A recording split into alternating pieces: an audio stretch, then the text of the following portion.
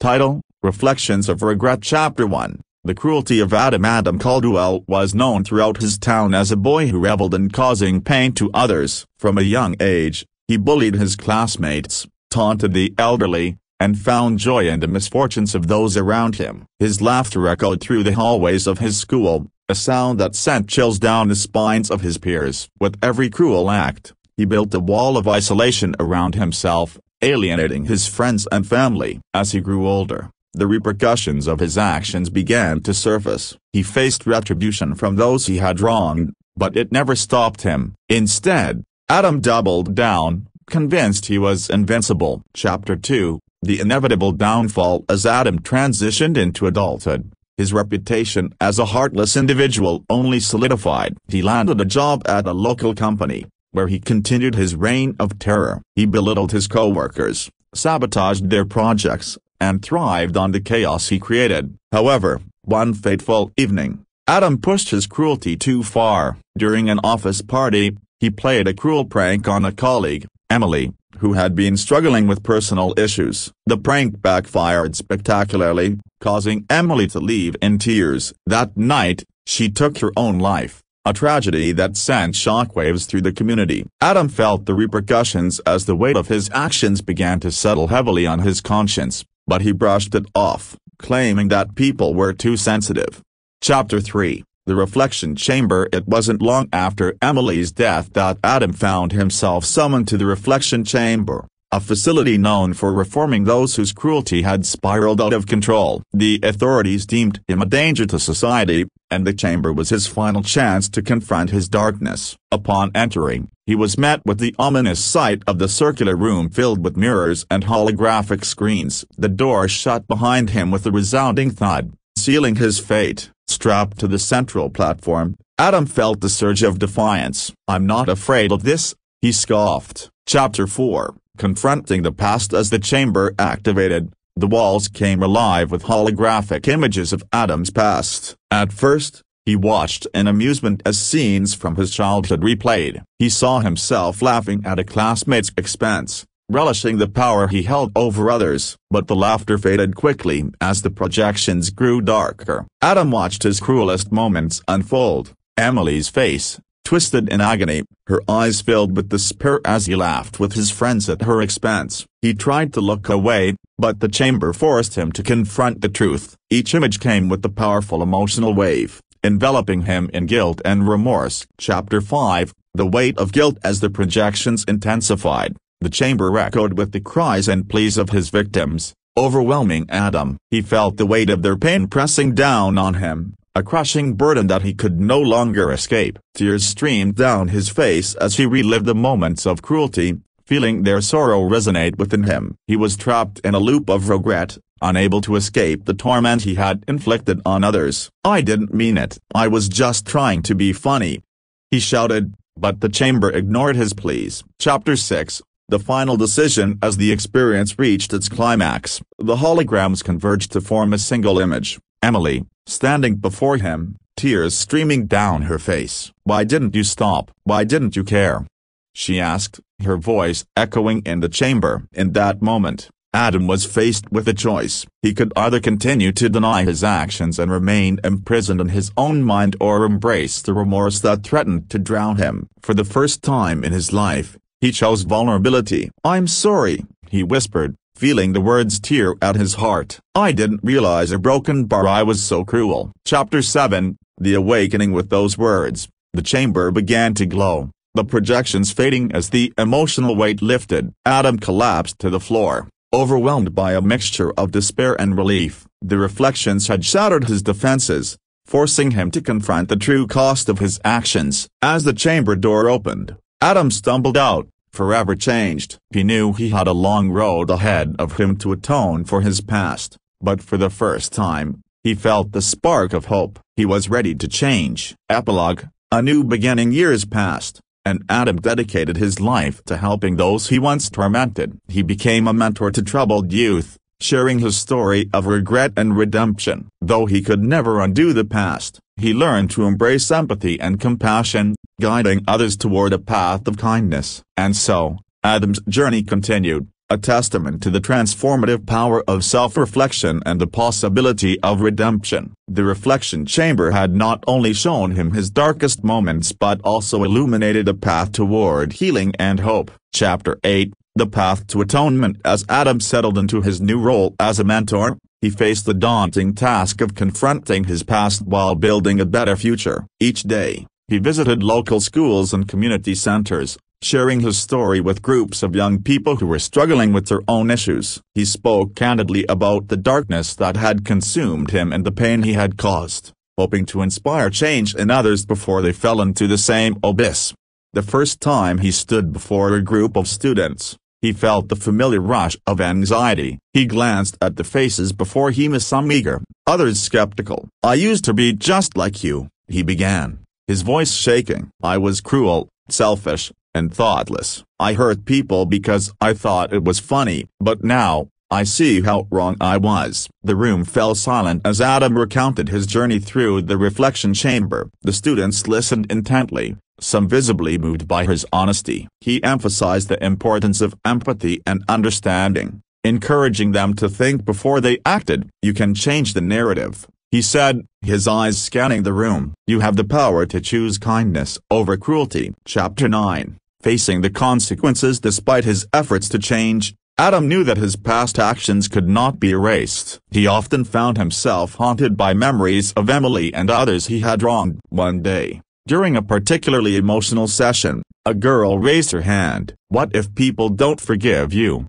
She asked, her voice trembling. Adam took a deep breath, knowing this was a question he had pondered countless times. Forgiveness isn't guaranteed, he admitted. Some people may never forgive me, and that's okay. What matters is that I continue to strive to be better and make amends in any way I can. Determined to make a tangible difference, Adam decided to reach out to Emily's family. It was a terrifying prospect, but he knew he had to try. He wrote a heartfelt letter explaining his remorse and the impact her daughter had on his life. He sent it, unsure of what response, if any, he would receive. Chapter 10 a chance encounter weeks later, Adam received a reply. It was a short note from Emily's mother, expressing her gratitude for Adam's courage to reach out. She explained that she had seen him speak at a community event and was touched by his sincerity. Although she could never forget the pain of losing Emily, she appreciated Adam's commitment to change. This response sparked something within Adam a newfound determination to honor Emily's memory by dedicating his life to helping others. He began organizing workshops focused on anti-bullying initiatives, collaborating with schools to create safe environments for students. He wanted to ensure that no one else would have to suffer the way Emily had. Chapter 11 A community transformed as Adam's workshops gained traction he saw a shift in the community. Students began to speak out against bullying, forming support groups and advocating for kindness. Adam felt a sense of purpose he had never experienced before. He witnessed firsthand the impact of his efforts, and it reignited his hope for a brighter future. However, he still struggled with moments of doubt. Was he doing enough? Would his past always overshadow his present? One day, during a particularly challenging workshop, he found himself spiraling. After the session, he stepped outside for some fresh air, feeling overwhelmed. As he leaned against a tree, a familiar face approached him. It was one of the students from the workshop, a girl named Sarah who had been particularly vocal about her struggles with bullying. Mr. Caldwell, she said softly, I just wanted to say thank you. Your story has really helped me. I've started standing up for myself and others because of what you've taught us. Adam's heart swelled with gratitude. I'm so proud of you, Sarah. You're making a difference, he replied, realizing that he was not alone in this journey. Chapter 12 The Power of Forgiveness One afternoon, several months later, Adam received a phone call from Emily's mother. She wanted to meet with him in person. Nervous yet hopeful, Adam agreed to the meeting. They chose a quiet cafe tilde copyright where they could talk privately. When they met, Adam felt the weight of the moment. He had rehearsed countless times what he would say, but nothing could prepare him for the sight of her. Emily's mother looked weary yet resilient, her eyes reflecting the pain of her loss but also a glimmer of strength. Thank you for meeting me, Adam said, his voice barely above a whisper. I've thought about you and Emily every day since I reached out. I'm so sorry for everything. Tears welled in Emily's mother's eyes. I appreciate your words, Adam. It's taken me a long time to reach this point. But I see the good you're trying to do. I want you to know that I forgive you. The weight of her forgiveness washed over him like a bomb. Thank you. He choked out, overwhelmed by emotion. I want to honor Emily's memory by making the world a better place. I promise to keep fighting against cruelty. Chapter 13 A New Legacy With the support of Emily's mother and the community, Adam launched a non-profit organization dedicated to anti-bullying initiatives. He gathered a team of volunteers, including former victims and perpetrators, all committed to spreading the message of empathy and understanding.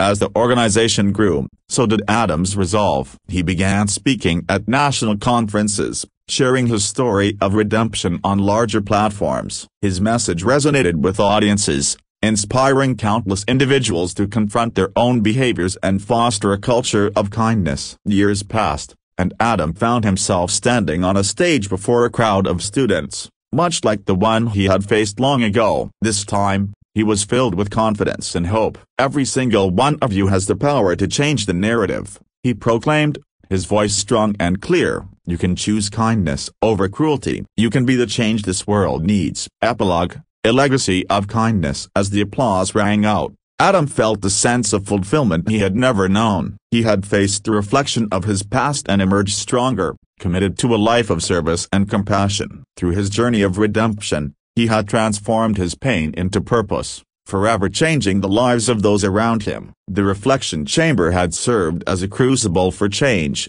but it was the choices Adam made afterward that truly defined him. His legacy became one of hope and healing a testament to the power of forgiveness and the possibility of transformation. In his heart, Adam knew that while he could not change the past, he could shape the future via one act of kindness at a time.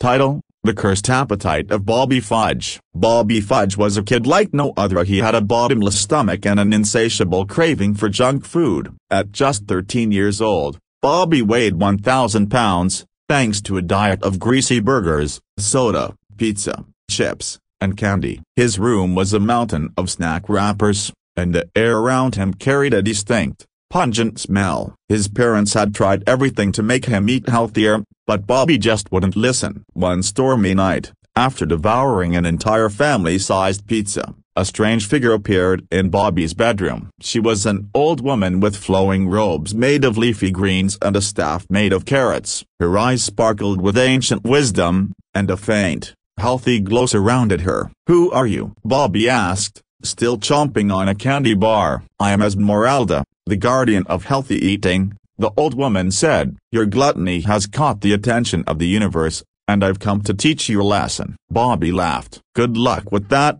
Lady, I'm not giving up my snacks. Esmeralda smiled mysteriously and waved her staff. Suddenly, Bobby's candy bar turned into a celery stick. His soda transformed into a bottle of water, and the pizza boxes vanished, replaced by a bowl of steamed broccoli. What's going on? Bobby shouted, looking at the green vegetables with horror. You've been cursed, Bobby Fudge. Until you learn to control your appetite and embrace a balanced lifestyle, you will only be able to eat healthy food. And if you don't change your ways, you'll never be able to eat junk food again. Bobby's face turned pale. No.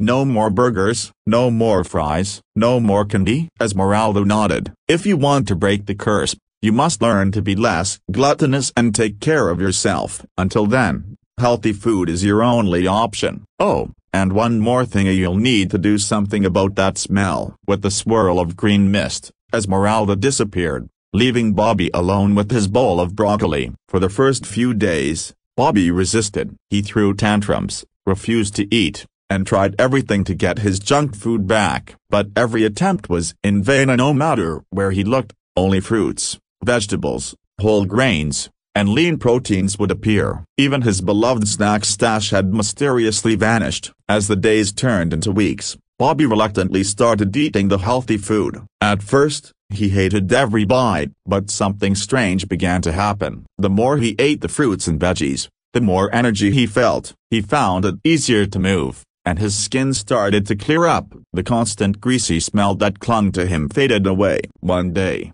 while munching on a salad, Bobby realized he didn't mind it as much as he thought he would. He even started going on short walks around the neighborhood, something he hadn't done in years. The exercise, combined with his healthier eating, helped him slowly lose weight. As his body changed, so did his mindset. Bobby stopped thinking about food all the time, and he even started cooking his own meals a healthy ones. After a few months, Bobby had lost a significant amount of weight, and he no longer smelled like old potato chips. He felt better than ever, and the thought of gorging on junk food disgusted him. One evening, Esmeralda appeared before him again. You've done well, Bobby. You've learned to take care of yourself and not be controlled by your gluttony. Bobby nodded. Yeah, I think I get it now. It's not about eating whatever I want, whenever I want. It's about balance. Esmeralda smiled. You've broken the curse, Bobby. From now on, you're free to eat whatever you choose. But remember the lessons you've learned.